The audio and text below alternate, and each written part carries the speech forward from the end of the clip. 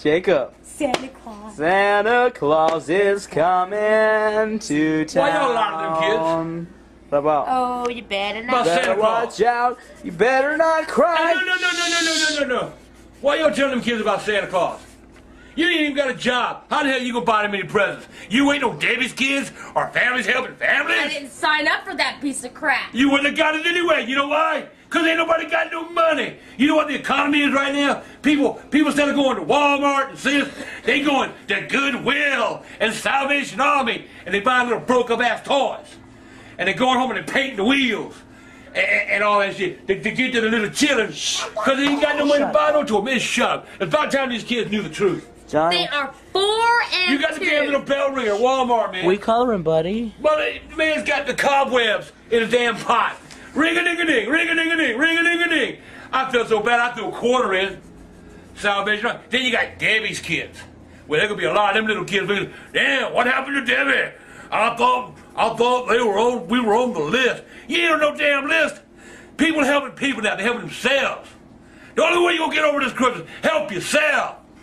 Buy your own kids presents. Man, boy, that's Santa Claus right there. The almighty wallet. The almighty wallet. That's Santa Claus.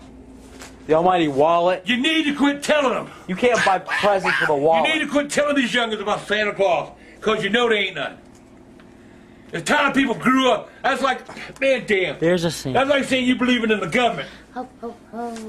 What do you want, Joe? You want Obama to be your uh, Santa Claus this year? Yes. Yeah. Obama didn't give you no, no check this year. So how the hell He you ain't gonna the buy? president right now. Not till January, after Christmas. He gonna be your president. He ain't gonna be mine. My president. Hey, you, Jingle but you need to tell these kids the truth. bells. You go and you put up a damn expensive Christmas tree that you had to buy last year. If you had to buy this year, you ain't had the money.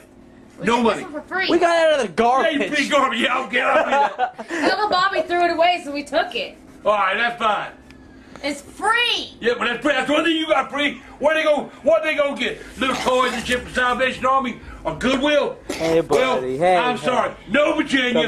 There ain't no fucking Santa Come Claus. here. Who's Virginia?